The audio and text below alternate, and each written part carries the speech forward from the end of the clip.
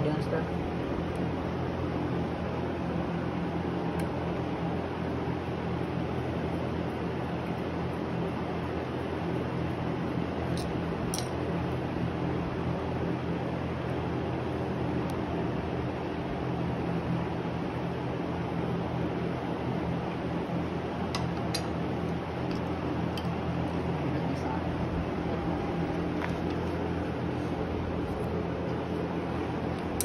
Take it. Uh, Rotate until it's all the way up. A little bit. There. Um, good enough. No. No, no, no. It's fine. And that key is shot.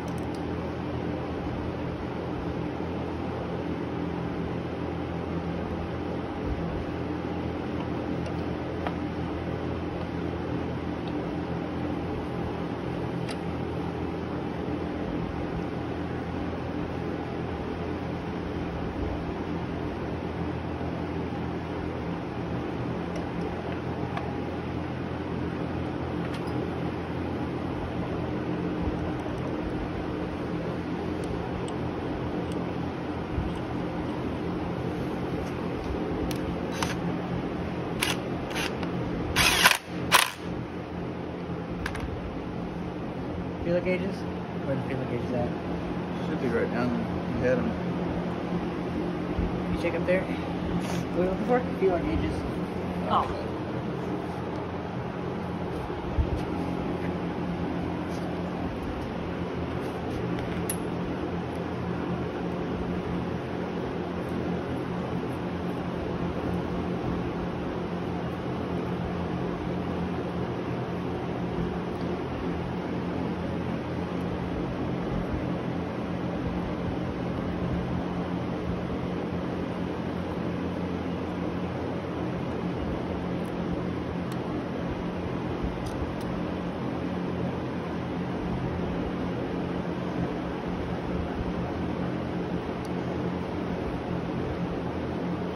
Are you seeing the points open and close?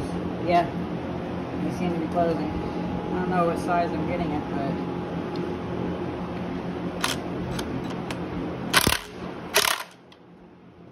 Hold that hey, you know what? How about I spin it while you uh, check the spark?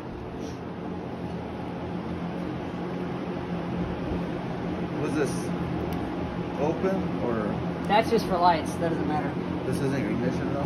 No, this is the this is the stopper. All it does is it just grounds. It just grounds it that's what I was pole. looking for to see if it was grounding right. So- Yeah, so Okay. it just creates a ground. Yeah, it grounds it out. So if that fails, you're stuck on, not stuck off.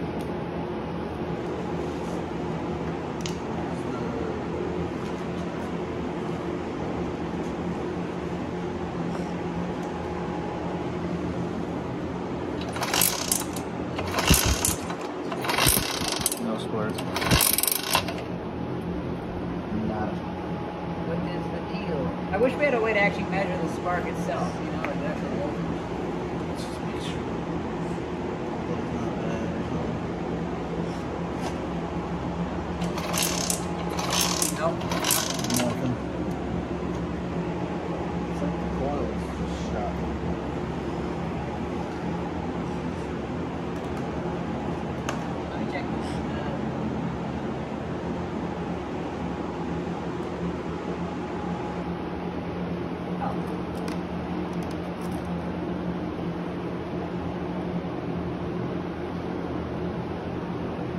11 kilo ohms.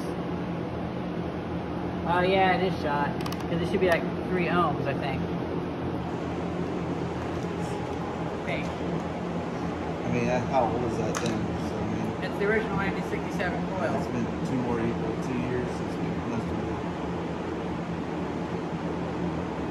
Yeah, 0 0.5 and 1.5 ohms, and that's reading 12 kilo ohms. I didn't realize that. Is it killing it? Huh? Uh,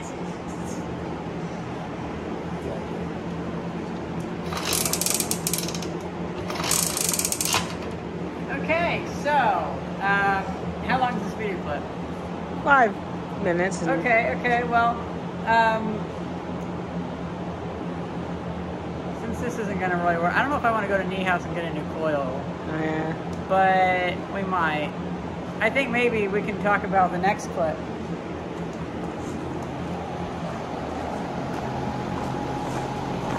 Can you unplug that? See, I can upload this directly to the to the YouTube channel as its own little clip. Hmm. I kind of figured we'd do that anyway. Well, at the very least, I'm I'm certain that this project will work. And kind of like that, this old house kind of segue. Just when things go wrong, you just go to the next thing that you've already had in the oven. So we finally went back and got the David Bradley, and I'm thinking what we should do now is maybe, maybe we just let that sit, and maybe we come back to it in a few days. The the Gilera. Right there. And uh,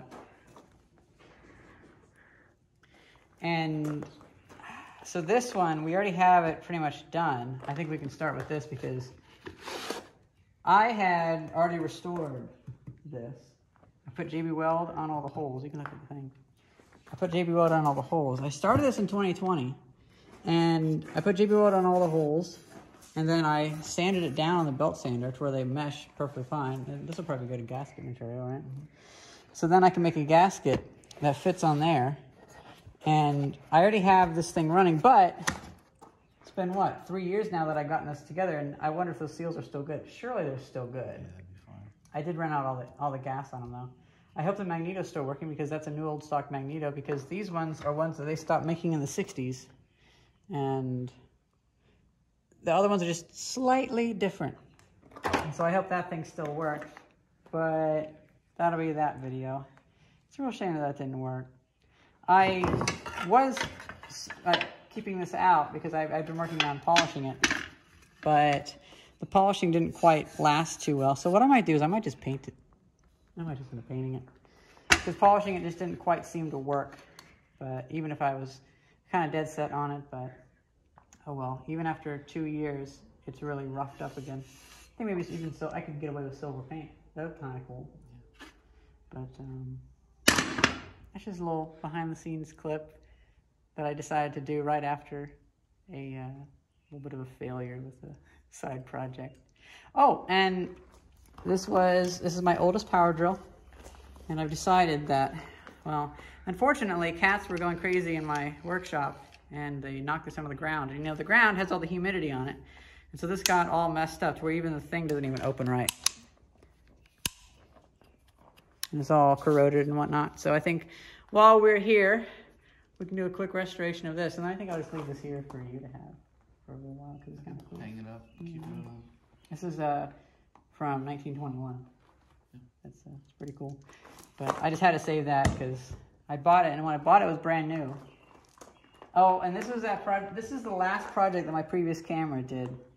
I'd gotten this from the scrapyard, and I was going to clean it up for us because I was I was going back, and we were going to be getting the apartment, and I was going to clean this up, but then my camera fell and it broke for the last time. It had been it had been breaking. This was before I bought this iPhone.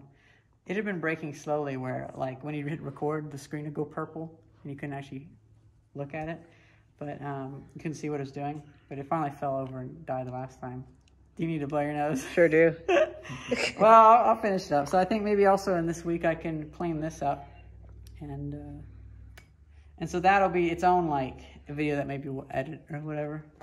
That's just a quick little update, something that I can post right now without having to edit, and then I can use these clips and other stuff.